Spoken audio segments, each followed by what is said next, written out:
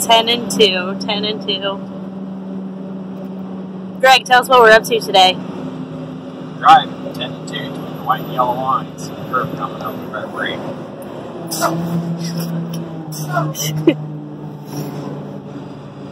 All right, you're up.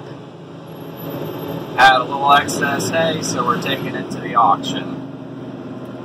Tell us about the auction that we're about to experience. It's the Lemon Grove, Shiloh, Ohio Mennonite auction. Today's the hay auction. So we got 30 bales of hay on here. We're going to go see what they think of it. This place kind of becomes a hodgepodge as it gets closer to the sale starting. People have brought in straw, hay. There's big bales that are round, big bales that are square, little squares, kind of a mixture of everything. So the people kind of circulating out here are buyers and sellers. And once the sale gets started, they'll move from load to load. So this auction happens every week, pretty much all year. It'll slow down a lot once it gets closer to people making their own hay in the summer. As part of the sale, if you have big bales, you're agreeing to take those and deliver them.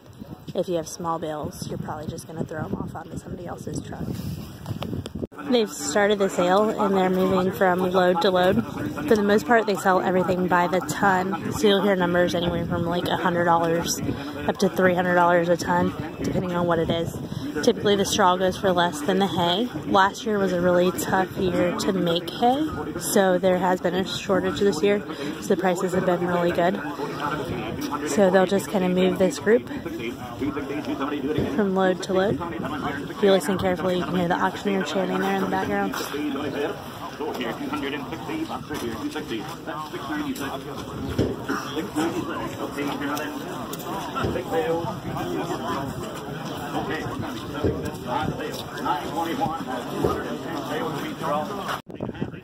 The loads on this end have already sold. So typically, as soon as the load sells, the buyer and the seller will meet each other and decide what they're going to do for unloading.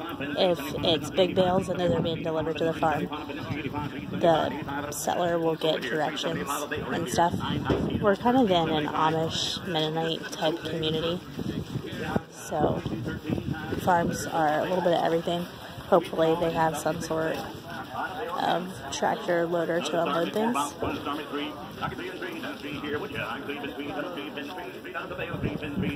Usually before things sell, the buyers all go around, kind of kick the tires, so to speak, on the loads, figure out for sure what they're going to buy on. They can ask the sellers any questions at that time too. So these loads over here have yet to sell. It is 9.30 ton. Okay, first cutting grass.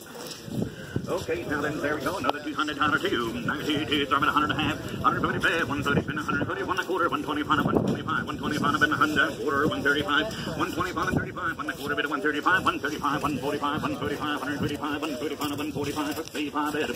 145, 35, 145, 70, 130, now 60, 100, now 70, paid, 160, 70, 170, paid, 160, 170, 170, 160, paid, 70, paid, 160, 70, right here, 160, 70, paid, 165.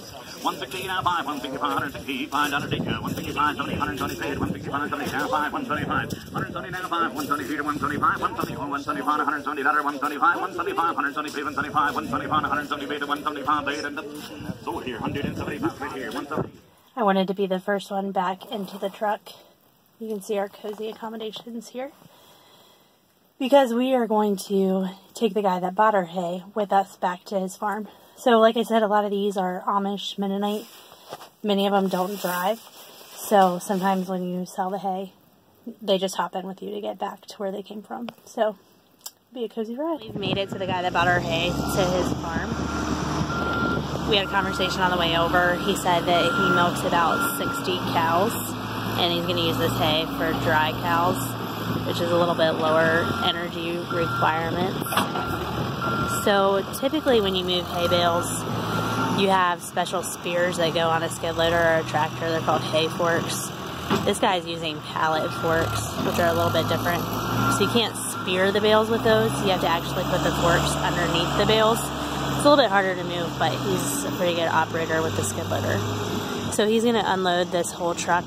There were 36 bales that we brought over today, and he's just stacking them to different places. So that's what we're up to. Getting some hay off, and uh, we'll get moving on with our next video little video shipping. 80 80 Well, another good day at the hay auction today. Sold for uh, price we could live with and what we was hoping for. So I'm gonna go feed somebody's drag out to that grass hay. A lot of mature hay market and uh, very little good dry hay. What was went for a very good price. Ours was mature, so it went for a fair price and a price we'd be happy with. Now we're heading back home now and go pour some concrete this afternoon. Catch you later.